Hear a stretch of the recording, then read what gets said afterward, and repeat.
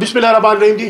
ډیر مشکور یو دي عزتمند اوسئ تاسو موږ ته وخت راکړی دي دا د نن د موږ د پریس کانفرنس چې کوم بنیادی مقصد دی دا چې کوم د سماج دشمنان دي او په سوشل ایول سي دوی کرایم کوي او د خلکو چې کوم هغه خپل ترکوي غریب سړی سفید پوش سړی چې لس زره پنځه لس زره روپۍ د بچ کړي وي سیوینګ کړي وي او په دغه ورځ د زی اختر د پاره بچو د پاره شاپینګ کوي بچي ور سره یو چې د جیب ته لاس اندر کی او د جیب خالی وي نو تاسو سوچ کوئ چې پاګه فیملی بچت تیریږي الحمدلله موږ چې څومره رشول زویونه وو چې هغه ټیکسي سټانډ وو چرته بانکونه وو بازارونه وو چې ما رمضان اخیری عشره ده د عید د شاپینګ د پاره سفید پوشه خلک په دې مهنګۍ سي بار راځي ویت فیملیز هغه دې سیفټي د پاره هغه دې پراپرټي د سیفټي د پاره هغه دې پیسو د جیب د حفاظت د پاره موږ خصوصي ټیمونه جوړ کړی او په هر ځای باندې مودرولي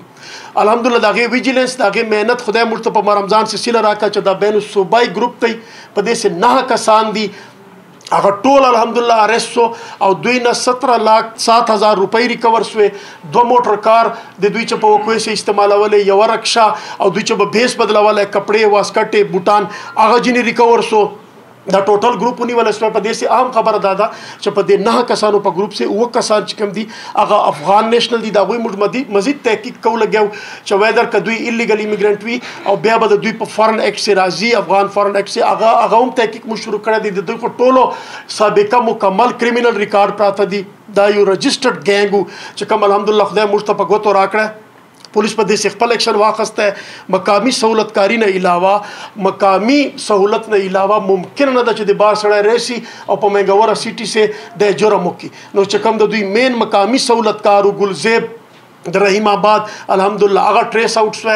هغه اوس په جیل کې دی هغه هم اریسټ شو له کامیابی سره او دا ټول ګروپ تاسو ته ولار دي د دوی پریویس ریکارډ موږ ټوټل را وېسته دوی نه هیوج اماونټ ریکور شو